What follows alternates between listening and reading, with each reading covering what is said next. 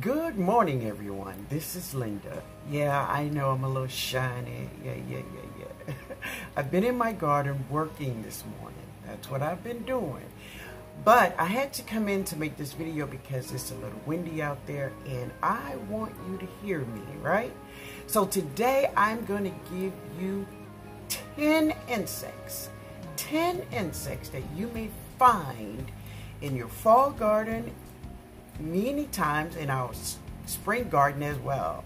But I want to get this video out just so you will know what the insects look like and some of their habits. So many insects, what we have, we have chewers and suckers. We're going to go through the list of 10 and at the end I'm going to give you two bonuses. Yes, I will. but I hope you have a beautiful Friday. But first, ha, if you are not subscribed to the channel, hit the subscribe button. I will be sharing my Zone 9 garden. Yay! Yay! Yay! Yay! Yay!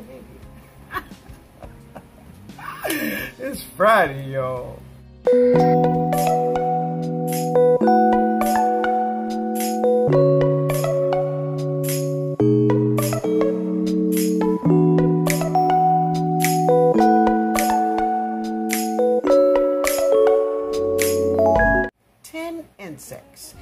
That you may find in your garden fall or spring mm-hmm, and maybe you just don't know what they are right?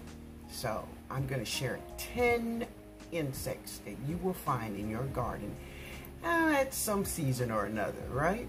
All right guys so um, I'm doing this uh, video inside simply because it is so windy outside and yeah, you will be able to hear me, right? So let's get this done inside today. So the first insect on my list, many of you have already seen this insect. Let me get over a little bit so I can make room for there it is. It's an aphid. The aphid. So the aphids, they really do have a short lifespan. Yeah, about seven days. But they clone themselves. They are parthenogenesis. So that means that they, in the beginning of the spring, they really don't need a partner to clone. Yeah, they clone themselves as soon as they get on our vegetables. And there are more and more and more and more. So if you see ants on your vegetables, yeah, probably you have aphids. Yes, you probably do. But that's the way she looked. Also, listen now, she comes in different colors.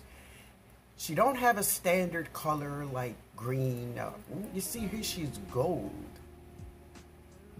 Different colors. They're change on you.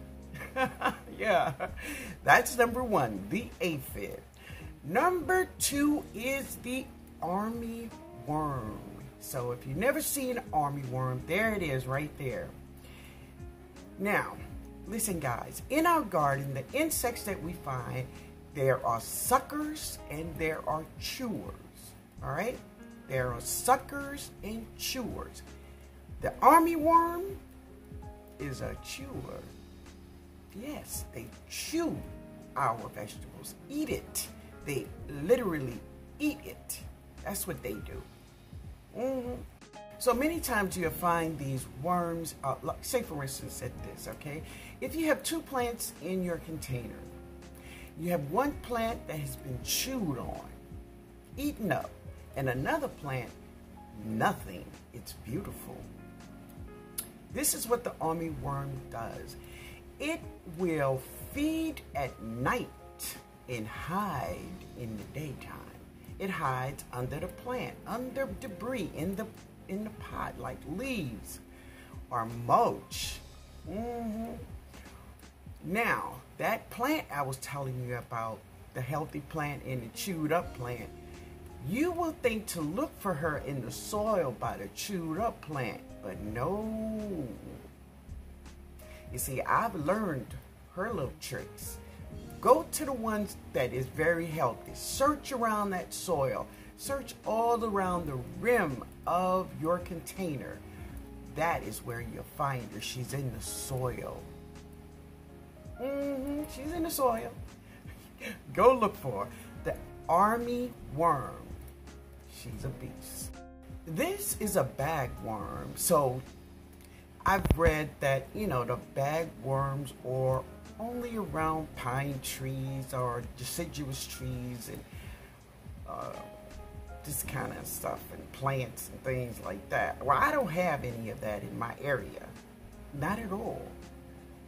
But I have bagworms.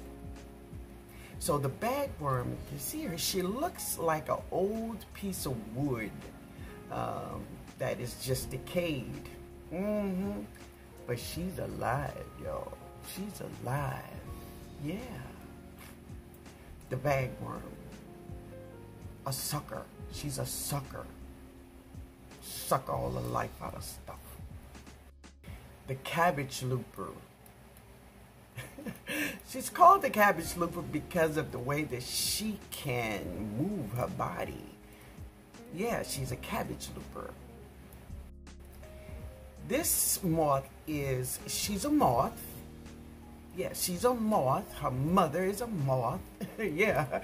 And you will see her flying around. She's nocturnal.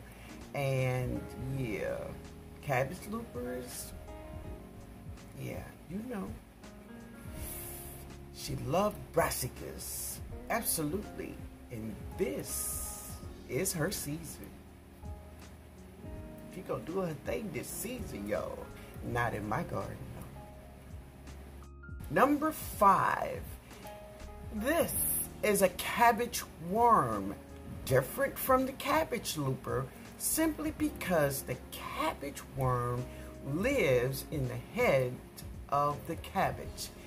And as the cabbage worm will take chunks she's a chewer. she take chunks out of your cabbage. Big holes will be like a drill through there because she's eating the head of your cabbage. You will see chunks. So look for her at the top of your cabbage and around the rims of the cabbage heads. That's her favorite food, brassicas. So this is a Colorado potato beetle. Yeah, it took all of me to say that. yes. This beetle emerges from the soil in the spring and begins to walk to look for food, right? And if he cannot find food by walking, he begins to fly. Yes, they are very destructive, totally. The cutworm. The cutworm, I have my battles with cutworms. They live in the soil. They also nocturnal, but they also lives in the soil. So yeah, they feed at night and hide during the day. And they will destroy our food. Not if I can help that is a harlequin beetle. That's what she is, a harlequin beetle. Now, I've seen some people look in their garden and go, oh, I have a big ladybug. No, baby. No, no. She is not a ladybug. Long from being a ladybug. Mm? She loves brassicas of all kind, cabbage, mustards, kohlrabi.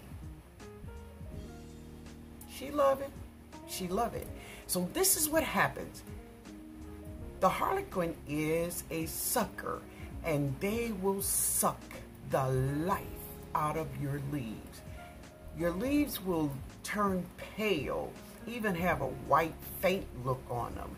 They will be dry. They'll flap in the wind. The harlequin is the one. That's the corporate of them all. So if you see this in your garden, it's a harlequin. And if you find one on your plants, remember many insects, they do not come alone. They like bad boys, you know. But there's one, there's a whole bunch of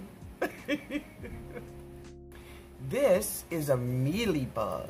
It's a mealybug. Now, a mealybug is like a nymph and it will stay right there on your plant. The females do not have wings. The males, they have wings and their only mission in life is to reproduce. Yes, so it's the mealy bugs. Yeah. They love your fruit trees too. They do. And number 10 on my list is the spider mite. It's the spider mite. So sometimes you may think, you know, it, that's the way it looks, that they will spin a web. They're spiders. They will spin a web all around the leaves and bunch them up like, you know, this is mine. They're suckers. They suck everything up. So, yep, spider mites. So let me give you a bonus, right? This is a bonus insect. Just for you. Thrips. Thrips, that's what they are. So when these, after these, uh, the, uh, the eggs hatch, right? They are nymphs. And what they do, they eat, eat, eat, and eat. It is essential for you to get rid of these guys out of your garden because they will not stop eating until it's all gone. Right. And this is my second bonus for you. It is a white fly. The white flies are suckers. They're suckers. And they will suck the life out of your plant. They will stunt the growth of your plants. Yes, white flies. Yes, so that is my 10 plus 2 of insects that you will find not only in your fall garden, but in your spring garden also. Yes.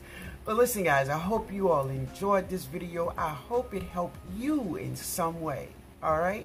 So in my next video, I will be sharing with you all what I do to combat some of these insects that I find in my garden. I hope you all enjoyed the video. All right, guys. Y'all have a wonderful Friday.